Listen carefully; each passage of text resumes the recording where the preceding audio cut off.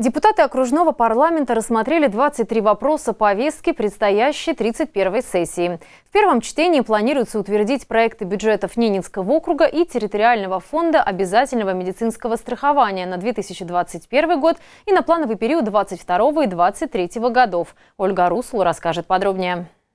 Основные вопросы 31-й сессии окружного собрания депутатов коснутся принятия в первом чтении главного финансового документа региона. Татьяна Лагвиненко, руководитель Департамента экономики и финансов, доложила, общий объем доходов окружного бюджета на 2021 год спрогнозирован в сумме 20 миллиардов 960 миллионов рублей. Объем расходов 22 миллиарда 350 миллионов рублей. Основным источником финансирования дефицита является привлечение кредитов в 2021 году на сумму 2,7 миллиарда рублей рублей. Депутаты обратили внимание, что расходы окружной казны отражены не в полном объеме.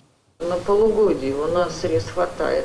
То, что дали рекомендации по секвестированию ряда статей, то они принимаются администрацией. Мы сейчас распределим, конечно, в первую очередь на те расходы, которые э, у нас недофинансированы, чтобы, по крайней мере, э, увеличить срок, э, допустим, финансирования этих коммунальных и других платежей кто не отказывается от того, чтобы выполнить рекомендации.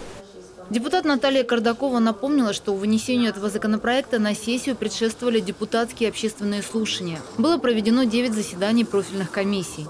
На депутатских слушаниях приняты рекомендации. Первое. Принять проект закона округа номер 211 ПР об окружном бюджете на 21 плановый период 22-23 годов с учетом представленных основных параметров окружного бюджета в первом чтении. В числе законопроектов – оптимизация расходов на органы государственной власти. Администрация Ненецкого автономного округа рекомендовано уменьшить бюджетное ассигнование на 2021 год на содержание органов государственной власти округа. В частности, предлагается продлить действие на следующий 2021 год. Э, первое. Установление понижающего коэффициента 0,8 к денежному содержанию лиц, замещающих госдолжности Ненецкого автономного округа. И второе, не увеличение расходов окружного бюджета на 2021 год на содержание органов госвласти округа в части фонда оплаты труда государственно-гражданских случаев Низкого автономного округа.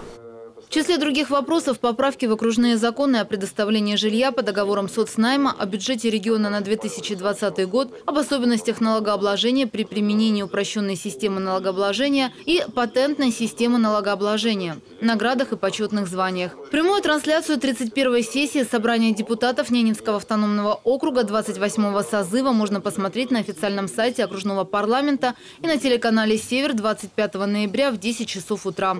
Ольга Русул, Дмитрий Лукевич, телеканал «Север».